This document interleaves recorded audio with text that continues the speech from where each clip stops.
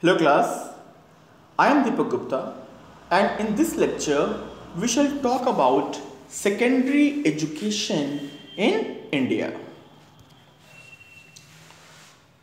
First and foremost, let's discuss about the background of education system in India that actually begins in Vedic period and passes through the religious revolutions that take place around 6th century BC and then it passes quite smoothly with slight changes in the Buddhist and Jain periods. See, when it comes to when it comes to the background, we believe that it begins from the ages of Vedas, that means Vedic period.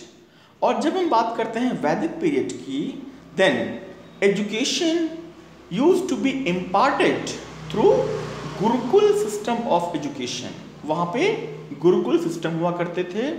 Gurukul शिक्षा प्रणाली हुआ करती थी, जहाँ पे गुरुजी हुआ करते थे और वो छात्रों को पढ़ाया करते थे, सिखाया करते थे।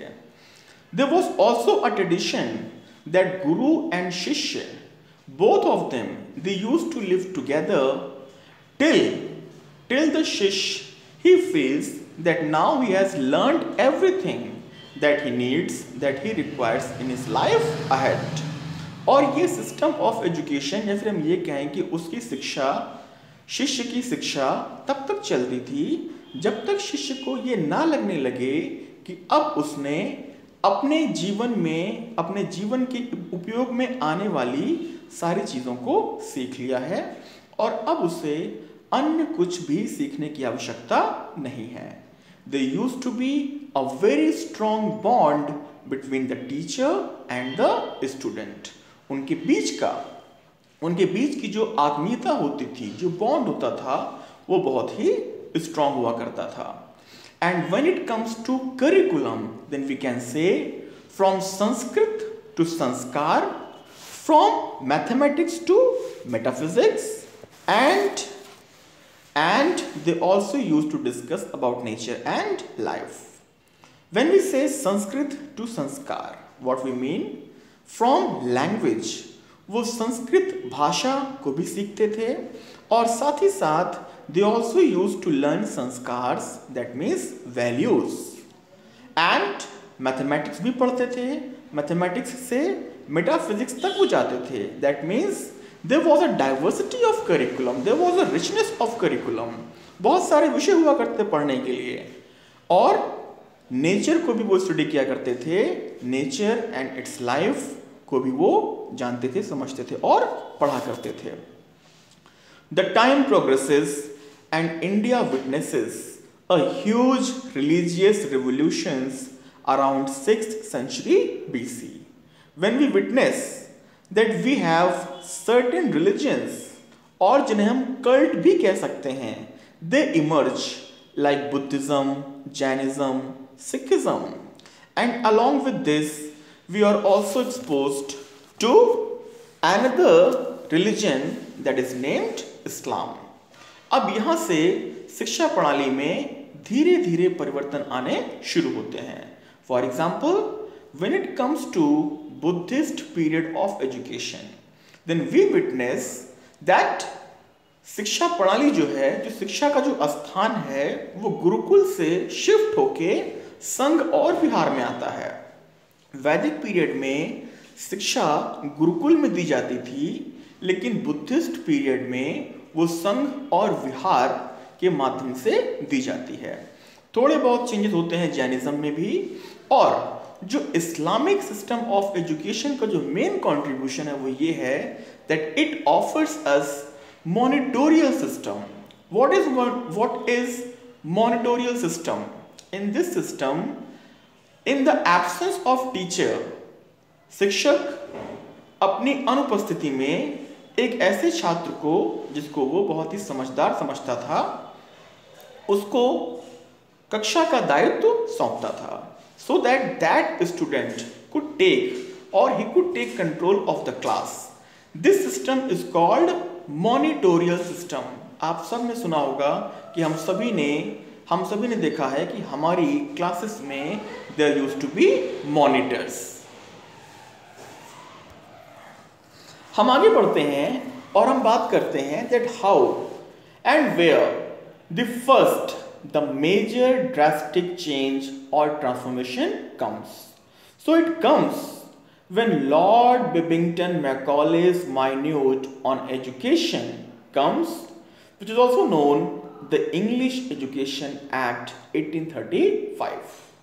हम पहले इस पॉइंट को समझ लेते हैं in 1835 India was a British colony that means India was being ruled by East India Company or the Britishers.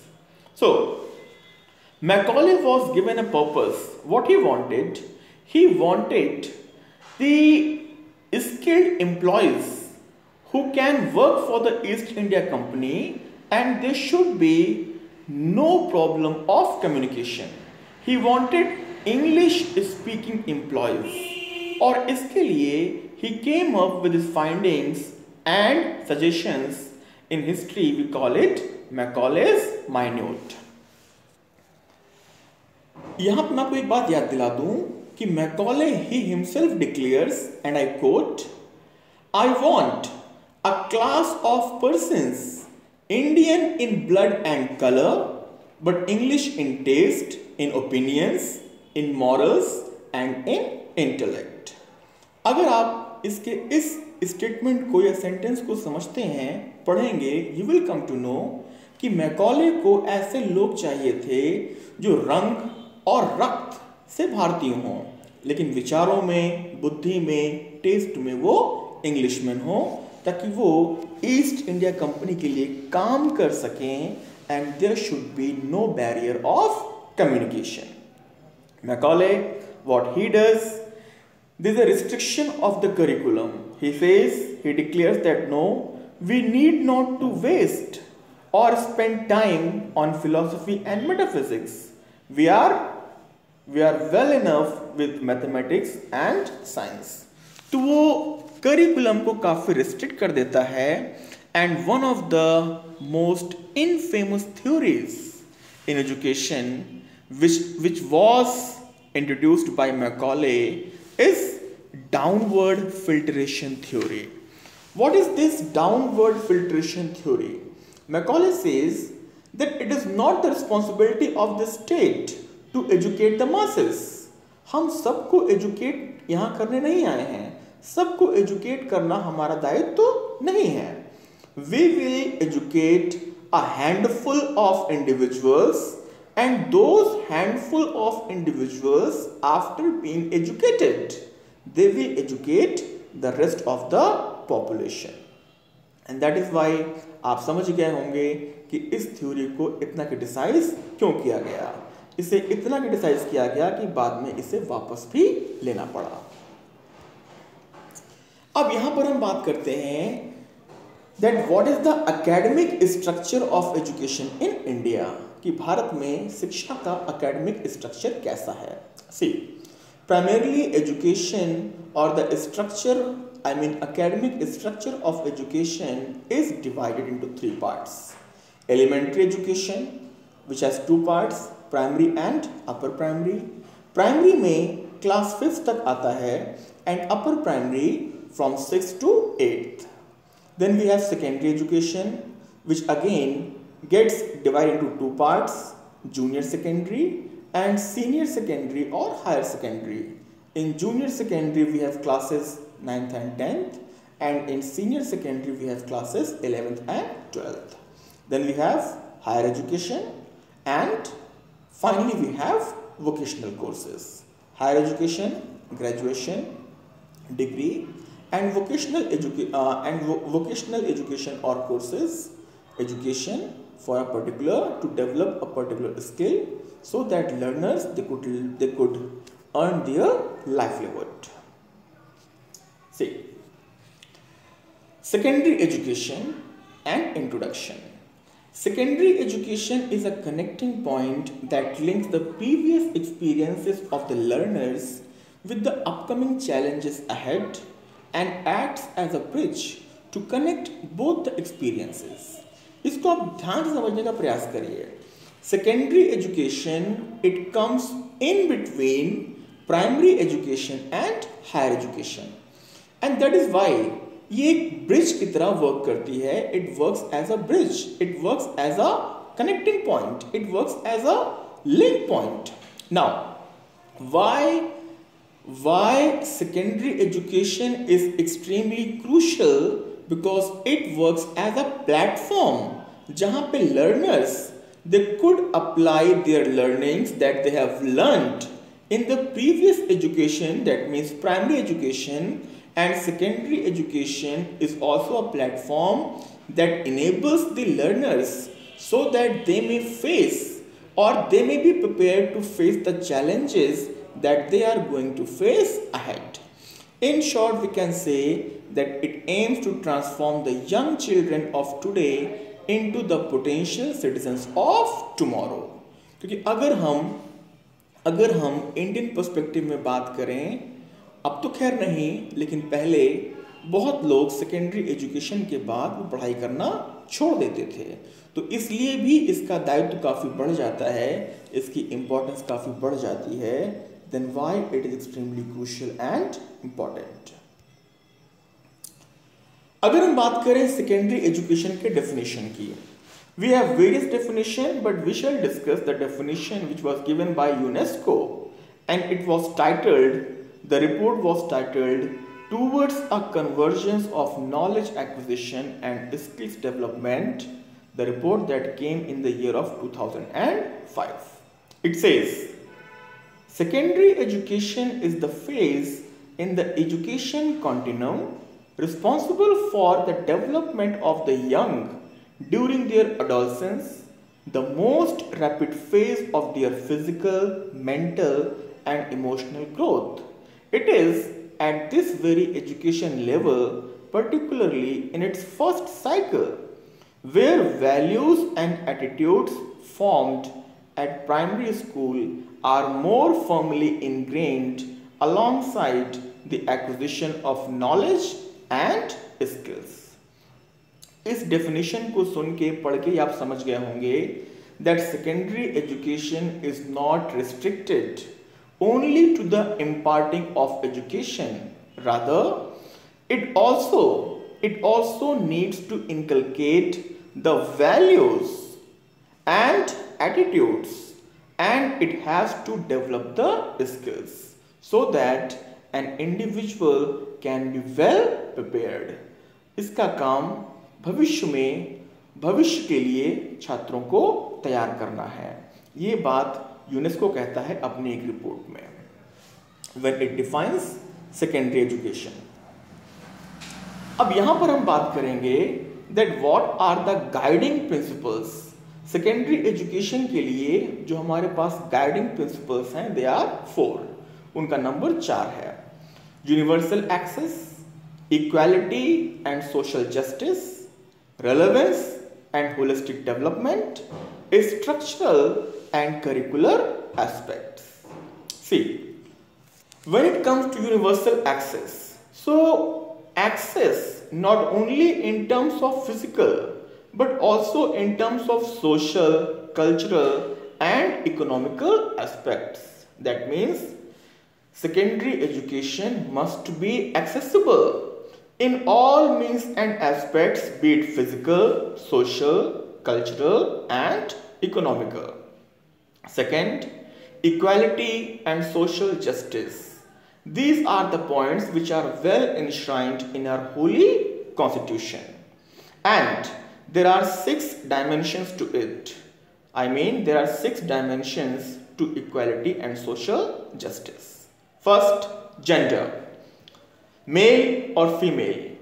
There should be no denying to education or there should be no discrimination on the basis of gender whether one is male or female. Economic disparity यानी कि economical condition वित्तीय परिस्थितियाँ ये बाधक नहीं होनी चाहिए किसी भी शिक्षार्थी के शिक्षा प्राप्त के मार्ग में then we have social Discrimination you know we understand it quite well that in order to in order to take the marginalized and neglected sections of the society, there was a provision of reservation. That means OBCs, SCs and STs हम इनको भी education के लिए deny नहीं कर सकते या फिर इनका फेयर रिप्रेजेंटेशन हो that is why the concept of reservation was introduced then we have cultural diversity it also includes linguistic and religion that means on the basis of culture language religion it should not be discriminated it should not be the basis for discrimination then we have disability जिन्हें those who suffer from it, now we call them divyang कि हमें कि हमें उनके साथ भी कोई भेदभाव नहीं करना है, और इसीलिए आपको पता है that there is a special provision for them rural urban habitation कि whether the learners whether they belong to rural area और urban area it can not be it should not be the basis of their discrimination शिक्षा पे सभी का समान अधिकार है। आगे हम बढ़ते हैं और बात करते हैं रेलेवेंस एंड होलिस्टिक डेवलपमेंट की। इसकी डेफिनेशन और इसके बारे में पढ़ के आप समझ गए होंगे that the role of secondary education is to develop the child holistically that means there has to be holistic development of the learners and the next is structural and curricular aspects अब यहाँ पे आप ध्यान देंगे। Most of the students या फिर हम ये कहें कि औसतन, जो बच्चे, जो छात्र सेकेंडरी एजुकेशन के दायरे में आते हैं द टीनेजर्स वो टीनेज होते हैं। हम सभी उस अवस्था से निकले हुए हैं। We have faced that phase of life और हमें पता है कि उस समय there are various psychological emotional mental and physical changes that we experience. These changes these changes are unprecedented जो पहले कभी नहीं हुए and the child experiences the experience that he has never experienced before ऐसी अवस्था में उसके मन में एक बहुत बड़ा कौतूहल होता है जिज्ञासा होती है, वो बहुत कुछ जानना चाहता है, समझना चाहता है। And as long as the physical changes are concern they are various but we can take a few like the age of puberty as long as the psychological changes are concern we can take for example the realisation of one's sexuality so what we need to understand that the curriculum should be such so that it may help the learners to cope with the soaring mental horizons जो उनकी जिज्ञासा है, जो उनके, जो उनका कौतूहल है, वो इसको शांत कर सके या इसके साथ वो कोप अप कर सकें, समन्वय कर सकें, समझ सकें, हमारा करिकुलम ऐसा होना चाहिए. And that is why there is a provision for physical education in secondary education मुझे एक बात ध्यान आती है that a couple of years back there was a debate that whether sex education be the part of secondary education or not. Personally, I do not find any reason to debate this issue because teenage or the age of the learners when they are during, during secondary education is the very phase of life where they need to be taught about all these things. About the, about sex education. तो मेरे ख्याल से ऐसा कोई भी debate का विषय नहीं होना चाहिए। बट फॉर एग्ज़ाम्पल मैंने आपको बताया that what should be the curriculum and how it should be structured हम आगे बात करते हैं and we talk about learning approaches की। The learning approaches are following like life skills approach tutorial approach basic skills remedial approach compensatory approach vocational approach and collaboration approach life skills पढ़ाई के साथ साथ स्किल्स को भी develop करना है हमें.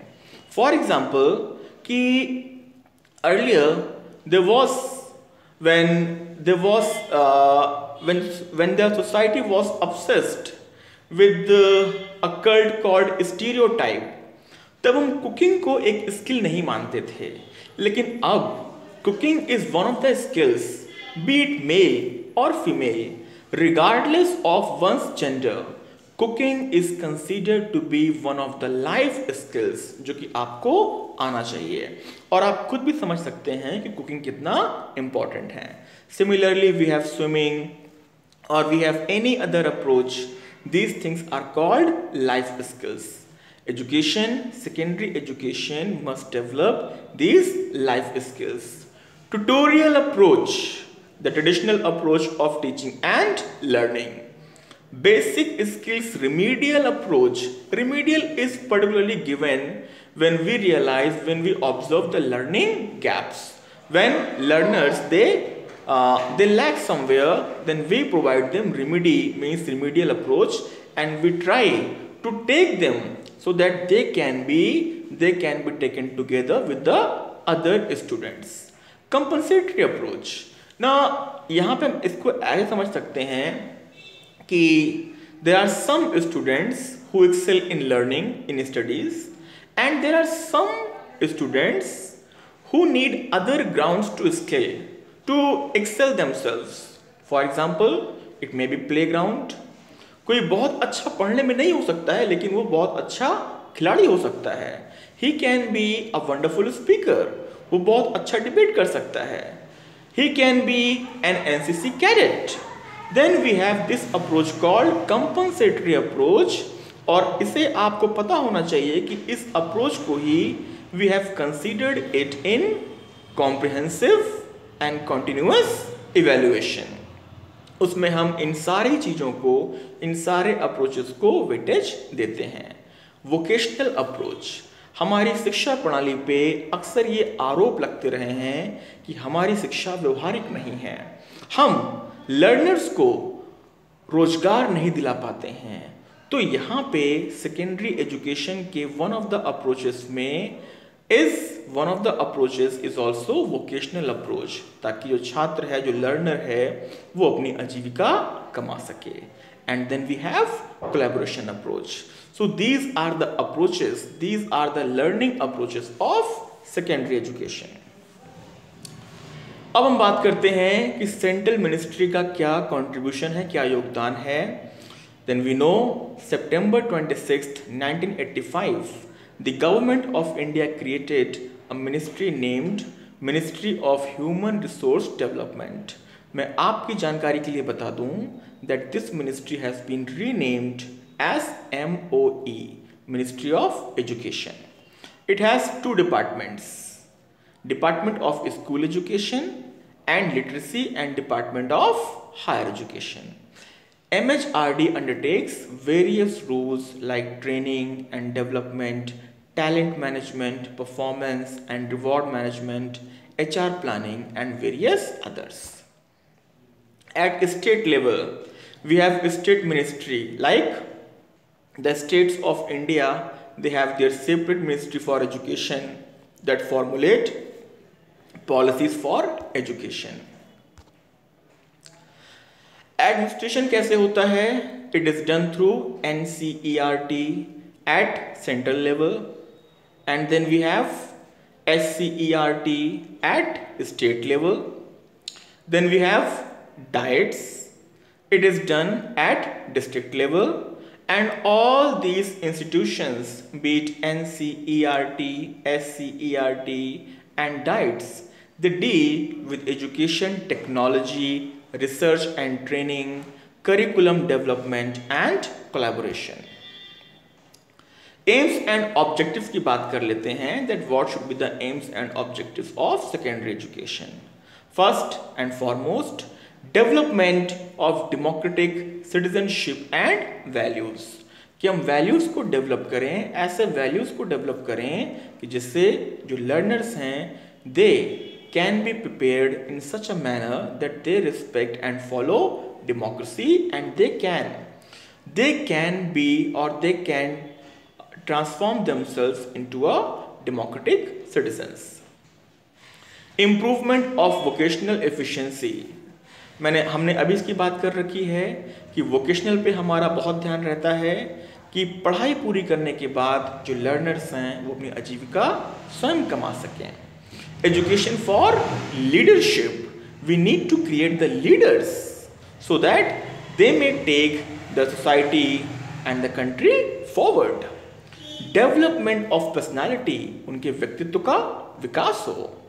Promotion of living standards and social virtues one of the very important objective that there must be there must be a betterment as long as their living standards are concerned उनके जीवन जीने के तरीके में they should be some betterment and promotion वो बेहतर हो।